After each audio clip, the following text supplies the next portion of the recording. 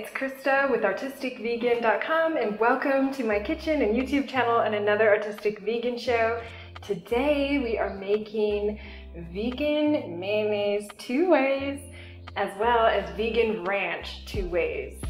And we'll be making one that is avocado based and then another that is tofu based these are low fat, really healthy alternatives and they're so flavorful, really easy to whip up. So let's go ahead and get right into how to make them. For the tofu based mayonnaise, you'll need one block of silken firm tofu, preferably organic and non-GMO, one tablespoon plus one half teaspoon of white vinegar, one and one half tablespoon of lime or lemon juice that's freshly squeezed, one teaspoon of salt, or you can use plus or minus to taste, two teaspoons of Dijon mustard, and two tablespoons of water. You'll want to mix that together in a food processor or with a little handheld blender until it's really nice and creamy and then pop that in your fridge for about 30 minutes to let the flavors come together and then you can use that anywhere that you would use your vegan mayonnaise and to make it with avocado, it's the same exact thing, just replace the tofu with one large avocado or about one cup of avocado. You can also use small avocados until you get to about a cup.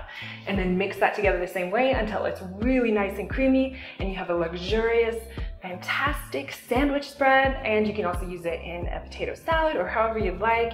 And normally there's a cup of oil plus eggs and everything else so you're saving all that fat and you're getting it with healthy fats from the avocado and protein if you use the tofu, so these are great. And the reason why I'm interested in even making a vegan mayonnaise because truthfully, I wasn't really huge on mayonnaise growing up, but I was on ranch and I didn't realize that ranch, it has a base of mayonnaise. So let's go ahead and make the ranch recipe and I'll show you how to make that. So you'll need one cup of either your avocado mayonnaise or your tofu based mayonnaise. You can also buy store-bought vegan variety. One half cup of sour cream. I demoed how to do that in the last show and I'll link that below.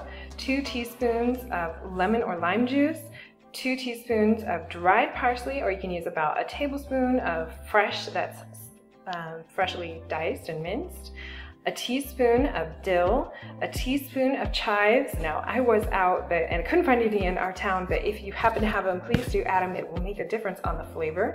One half teaspoon garlic powder, one half teaspoon onion powder, a half teaspoon of salt, or you can use plus or minus to taste, a quarter teaspoon of black pepper, and a quarter cup of dairy-free milk of choice. I use a coconut base, but really you can use whatever you would like.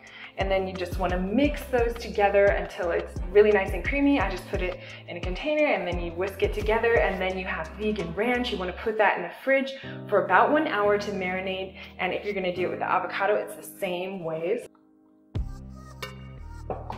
And then you just add everything together in a jar or in a container and whisk it together and you have your vegan ranch and this is an avocado based ranch how cool is that and add your lime or lemon juice i'm using the lime it complements the avocado very well your dairy free milk and some fresh or dry herbs. I'm using a mixture of fresh and dry. And then you just want to mix it all together Okay, and then you want to put this in the fridge for about an hour to let the flavors come together so the herbs really stand out and have a chance to shine. We had a wonderful mayonnaise that we turned into a delicious homemade vegan ranch. Look at that.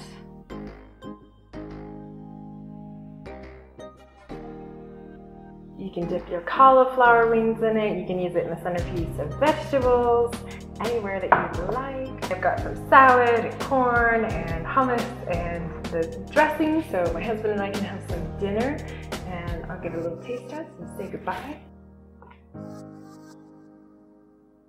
Absolutely delicious and full of flavor. I'm gonna go for the tofu base since it has been in the fridge for an hour and it's gonna be maximum flavor.